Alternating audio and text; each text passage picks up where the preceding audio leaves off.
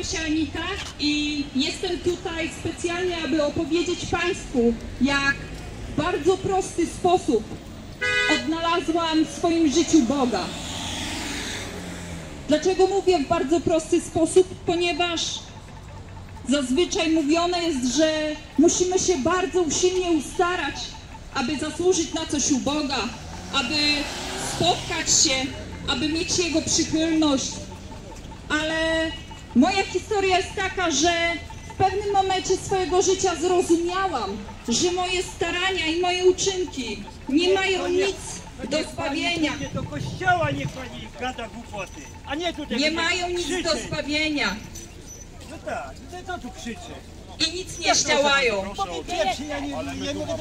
Dziewczyna, jestem dziewczyną urodzoną kościele katolickim, która była nauczona, że trzeba przestrzegać przykazań, być dobrym człowiekiem, przestrzegać przykazań. I wszystko to starałam się robić. Chodziłam w niedzielę do kościoła i tak usypiałam swoje sumienie, bo pomyślałam sobie, okej, robiłam to, więc jestem dobrym człowiekiem, tak?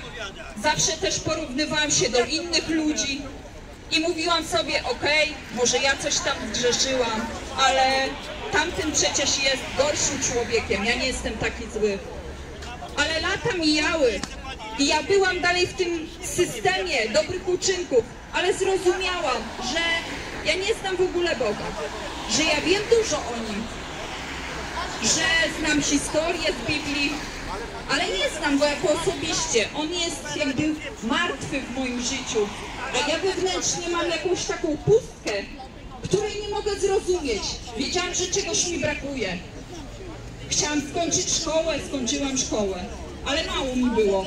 Potem znalazłam pracę, zaczęłam zarabiać pierwsze własne pieniądze, cieszyłam się z tego, ale za chwilę jakby szczęście tego wszystkiego gdzieś uciekało i ciągle mi było mało.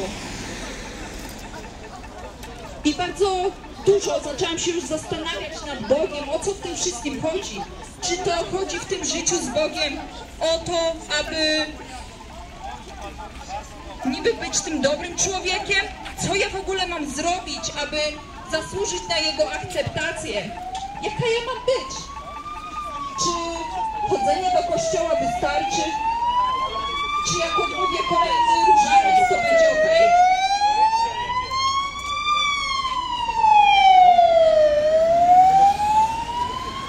I wiecie Państwo, chcę powiedzieć jedno jeszcze. Bóg patrzy na serce człowieka. Boga nie zamydli się jakimiś uczynkami, rytuałami, rytuałami, ale swoim sercem. I ja zaczęłam szukać Boga swoim sercem. Uczona byłam, że trzeba się modlić do Boga takimi modlitwami, które są wyuczone, tak? Ojcze nasz, zdrowaś Mario. Ale pewnego dnia zaczęłam do Boga wołać własnymi słowami. To był klucz, bo otworzyłam do Niego swoje serce. I właśnie o to chodzi, abyś otworzył serce dla Jezusa. Zaczęłam wtedy mówić do Niego, że tak naprawdę nie wiem o co chodzi. Jestem w tym systemie, tak, kościelnictwa. Robię niby to, co mówi mi Kościół, ale to nie przynosi jakichś skutków do mojego życia. Zaczęłam mu o tym mówić. I pewnego dnia zostałam przekonana o tym, że mimo tego, że mam bardzo dużą wiedzę o Jezusie, to tak naprawdę nie znam Go jako osoby. I zrozumiałam, że nieważne jakim jestem człowiekiem, to moje uczynki nie są wystarczające, bo co możesz dać Bogu, aby być zbawionym? Co możesz Mu dać? Kasę na tacę? Co? Co możesz Mu dać? Dobry uczynek? To wszystko jest małe i to wszystko jest marne. Ale ja przyjęłam jeden uczynek. Uczynek Jezusa. I chcę Państwu o tym powiedzieć, że każdy w swoim życiu musi podjąć decyzję, która decyduje o jego życiu wiecznym. Czy interesuje Cię to, gdzie trafisz, kiedy odejdziesz z tego świata?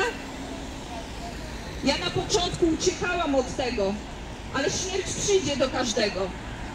I chcę powiedzieć, że nie zasłużyć sobie niczym, ani dobrymi uczynkami, ani dawkami na tacę. Niczym.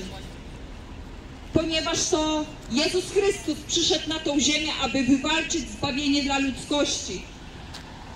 I można powiedzieć, okej, skoro Jezus wywalczył zbawienie, to wszyscy jesteśmy zbawieni i nic nie musimy robić. No tak, tylko że Bóg dał Ci wolną wolę po to, abyś mógł Ty osobiście zdecydować o tym, czy przyjmujesz niezasłużoną ofiarę Jezusa Chrystusa. Jezus Chrystus chodził po tej ziemi i żył w takim ciele jak Ty. On przeżywał te rozterki, które przeżywasz Ty. Za jednym wyjątkiem. On nie zgrzeszył ani razu. On chodzi kilkanaście lat po, po ziemi, tak? Ale nie zgrzeszył. Nie popełnił ani jednego błędu. I dlatego właśnie mógł być zastępczą ofiarą za Twoje grzechy. Zbawienie jest na wyciągnięcie ręki. Dziś możesz być pewny swojego zbawienia. I nie ze swoich uczynków, ale z tego, co On zrobił dla Ciebie Jezus. Pewność tego, że idzie się do nieba po śmierci, to jest chyba najpiękniejsze, co może być. Ponieważ człowiek przestaje bać się śmierci. Ja panicznie kiedyś bałam się śmierci. Bałam się tego, że jak jadę samochodem, to będę miała jakąś kolizję, że potrąci mnie samochód. No i właśnie, bałam się. Dlaczego się bałam? Bo nie wiedziałam, co ze mną będzie. Ale kiedy powierzyłam swoje życie Jezusowi, wiem, że niezależnie co się stanie, trafię po śmierci do nieba, ponieważ jestem zbawionym człowiekiem. Jeśli dziś chcesz pojednać się z Bogiem, to jest bardzo proste. Niezależnie, czy jesteś teraz w dobrym miejscu swojego życia, czy w złym, czy masz lajtowe życie, czy jakieś kłopoty. Nieważne.